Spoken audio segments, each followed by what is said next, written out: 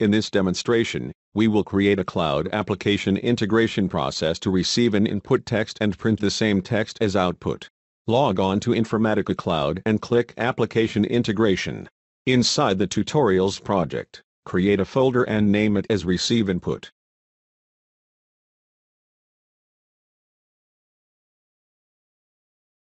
Click New to create a new asset. Select Processes and click Create to create a new process. The Process Designer opens with start and end steps already available on the Design palette.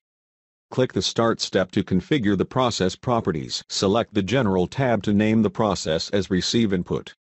Select a location where this process need to be created. In this demonstration the process will be created inside Receive Input folder that is under Tutorials project.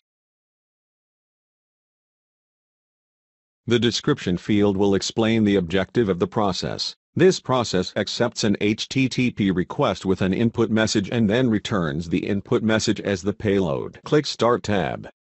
Binding defines how this process be invoked. Set this to HTTP SOAP.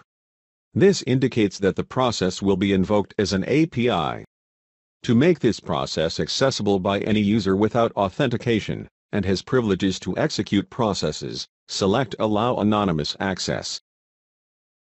Select Cloud Server from the Run On list. To indicate where this process will be executed, select the Input Fields tab and create an input field with the name as input and type as text. This will be the input to the process.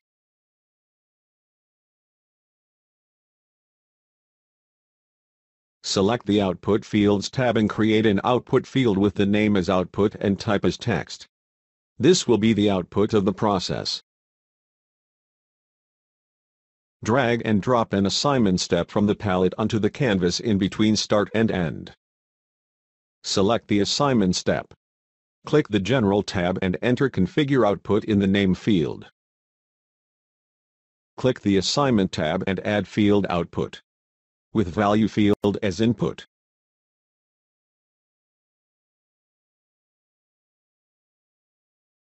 Save and publish the Hello World process. Now, we have seen the design of the process. Let's invoke it to see in runtime. Click Actions in the Receive Input Properties window. Copy the service URL. Open the browser window and paste the copied URL in the address bar to key in. Greetings. Have a nice day as input. The received input text is printed here. Now open the Application Integration Console to see if the receive input process was invoked successfully. In this demonstration, we received an input text from the user and printed the same text as output.